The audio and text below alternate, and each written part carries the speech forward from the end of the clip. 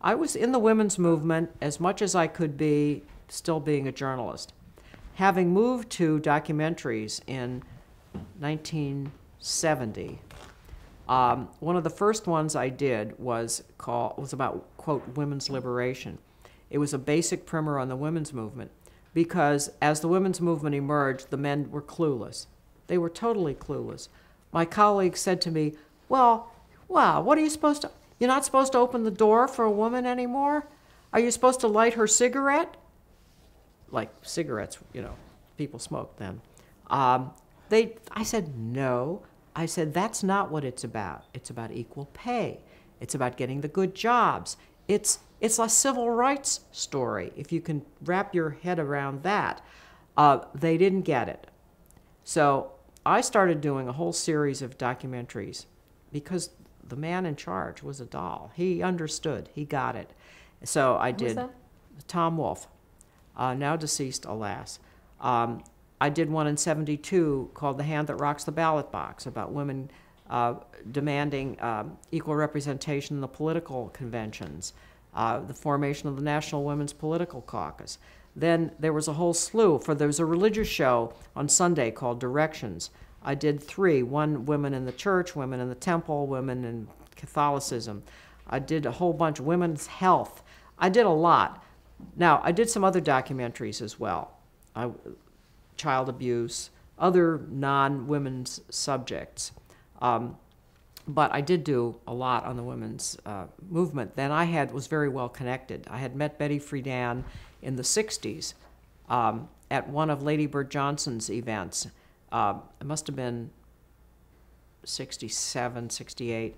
Um, her book, The Feminine Mystique, had come out in 63, but I was living it. I was the new emancipated woman. I hadn't had a chance to read it. So it happened when I met her, I was finally reading the book. So we became friends, and we were friends for life. I spoke at her funeral when, at, when she died at 85 this year, 2006. And um, so I had access to a lot of information about what was going on. I knew the people involved, and uh, they would alert me to events. For example, when they had a sit in at the Ladies' Home Journal, I knew ahead of time. I got there with a crew. So I was reporting on it, and I was, uh, but, but I couldn't be, you know, I couldn't march in a protest or anything like that. I, I had to be somewhat discreet. Certainly was fairly clear in my documentaries where I stood, but nevertheless, the documentaries I think were fair. Did you have to fight at all to get them on? No, I didn't because of the man in charge. Although Elmer Lower, good old Elmer, who didn't give me much support when I was having trouble in the newsroom, he used to screen them with Tom Wolf, and I was never allowed to be in the screenings. And he, um, he literally didn't get it. Tom always defended whatever I did, presumably, because they were never changed.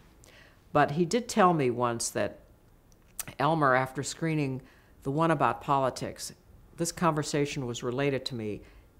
Tom said, Elmer said, Well, what is this about women wanting power? Don't they have power in the home? I thought, oh my lord. So I wrote Elmer a single spaced long memo trying to explain in, is, is uh, uh, non confrontational as I could be about what it was we wanted.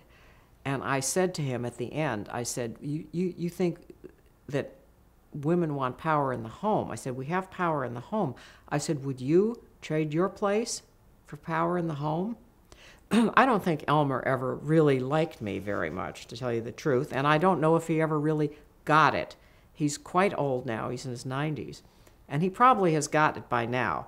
But um, whatever he thought, he didn't interfere.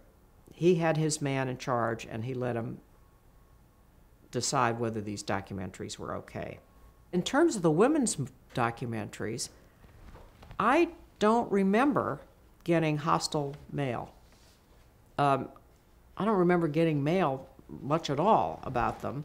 Uh, everybody in the women's movement thought they were great. I was, you know, big hero, heroine to them.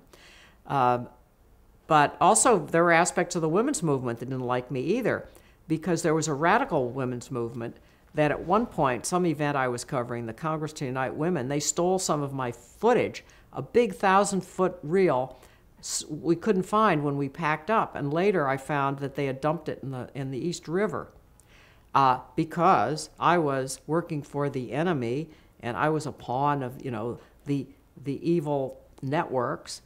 so this was an outrage. This was just, it made, made my, I, I, I couldn't believe it. And of course, when I got back to ABC with, without that footage and my crew, they were just, they were thunderstruck. they couldn't believe it either.